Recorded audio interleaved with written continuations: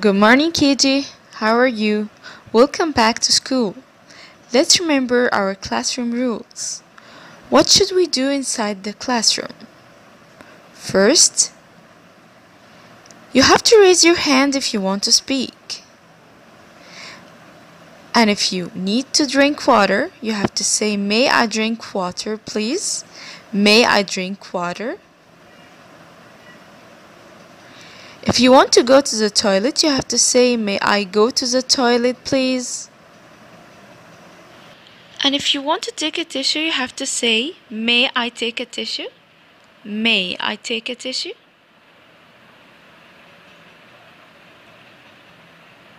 If you want to wash your hands, you have to say, May I wash my hands, please?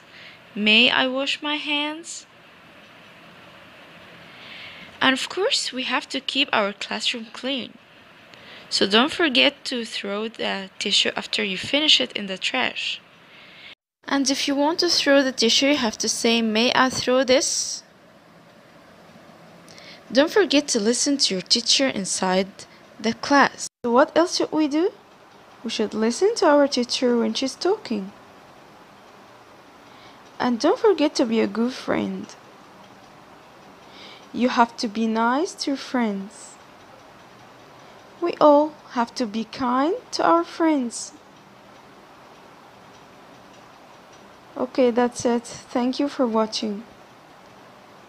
And now let's listen to this song. Hey, boys and girls, do you remember the six rules of our classroom?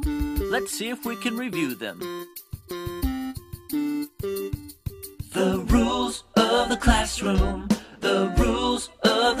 Classroom, the rules of the classroom make us safe and happy. Well, the first little rule has to do with our voice. If you have something to say, raise your hand and wait to speak. That's the respectful way.